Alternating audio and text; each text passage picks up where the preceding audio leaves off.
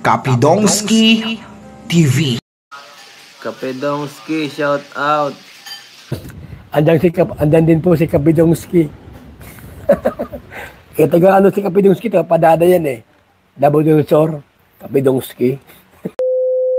Lola ni Erica naalala ang mga vloggers na pumunta sa kanila lalo na si Dong Roel. It's me again ang inyong lingkod ang Bisayang taga Davao Kapedongski TV.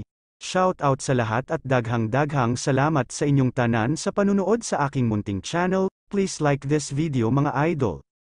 Hindi talaga maiwasan ng lola ni BB Girl na maalala ang mga vloggers na pumunta sa kanila noon lalo na si Dong Roel dahil alam naman natin na si Roel of Malalag ang unang nakascout kay Erica at unang tumulong sa kanila lalo na nung pina-check up ang lola ni Erica ni Dong Roel kaya noon palagi talagang nagpapasalamat ang lola ni Erica kay Dong Roel palagi niyang sinasabi na si Roel of Malalag ang unang tumulong sa kanila.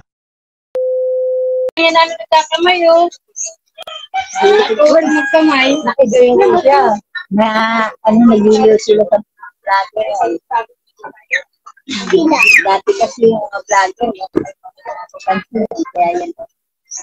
Kaya nalaga ni Kuya Ruel yan, eh. yan makalimutan na yan.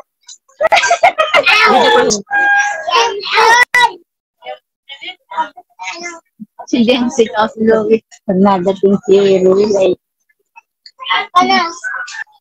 hindi yan natitiis.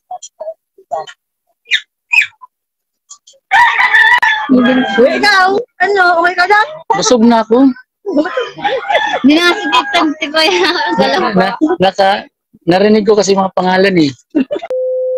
Samantala dito naman tayo sa lolo ni Erica at si Erica grabe ganito kalambing pala si Erica sa kanyang lolo at lola.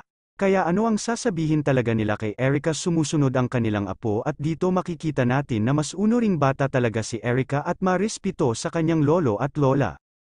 At dito nga hindi lang pala magaling kumanta si Erica magaling ring sumayaw makikita natin pati si Lolo at magaling ring sumayaw ng cha-cha makasana all ka na lang sa relasyon ni Erica sa kanyang lolo at lola bihira na lang sa mga kabataan ngayon na malambing sa kanilang lolo at lola dahil mas nakatutok sila sa gadgets ngayon.